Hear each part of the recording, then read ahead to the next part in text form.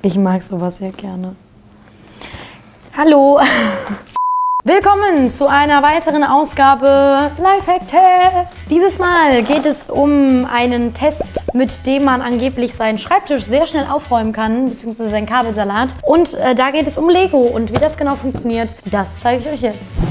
Ein neues Star Wars-Film. Ja, ich freue mich. Ich mache das jetzt erstmal auf, weil wir brauchen nämlich eine Lego-Figur. Wir brauchen Beine, Arme und einen Kopf. Lego gibt diesen Männchen, obwohl die jetzt gleich noch so einen Kelb aufkriegen, auch noch ein Gesicht. Das ist ja nett. Das hätten sie auch lassen können. Dieser kleine Mann hat äh, ganz bezaubernde Ärmchen und mit diesen Ärmchen kann er eure Kabel festhalten und an Ort und Stelle bringen. Und die sehen jetzt sehr klein aus und ich bin mal gespannt, ob da auch meine Kabel so reinpassen. Ihr müsst das Männchen hier einmal ein bisschen fixieren, weil das ist ein bisschen wackelig und dazu nehmt ihr euch so doppelseitiges Klebeband und packt das einmal auf die Füße und klebt den jungen Mann dann auf den Tisch, damit er hält.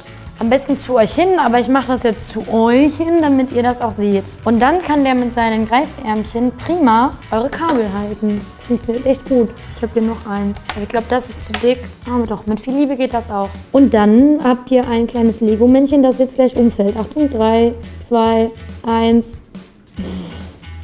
Ich glaube, das ist ein bisschen zu schwer.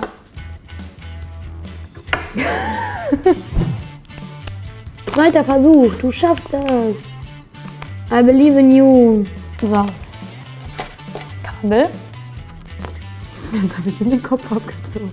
Also ich finde, das sieht ja eigentlich ganz niedlich aus. Und ich persönlich würde mir jetzt nicht unbedingt so einen Sturmtruppler dahin stellen und würde den wahrscheinlich auch mit ein bisschen mehr als so einem dünnen doppelseitigen Klebeband fixieren. Aber ich finde, das hält eigentlich ziemlich gut. Gerade diese dünneren Kabel, wenn das Kabel so dick ist, wird das eher ein bisschen problematisch. Aber an sich finde ich es eigentlich eine ziemlich coole Idee. Besonders wenn man wie ich dazu neigt, äh, die Kabel immer hinter den Schreibtisch zu schmeißen und sie dann mit rotem Kopf zu suchen. Ein Film, ein Film.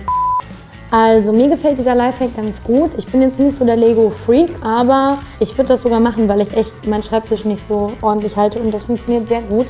Und deswegen würde ich dem Ganzen so 8 von 10 Punkten geben, weil es ist jetzt nicht so perfekt ausgearbeitet und man muss es auf jeden Fall irgendwie mit Heißkleber oder mit irgendeinem gut klebenden Patterfix oder so festkleben. Aber wenn der einmal richtig klebt, dann ist das, glaube ich, ganz geil. Ich bastel jetzt noch ein bisschen hier.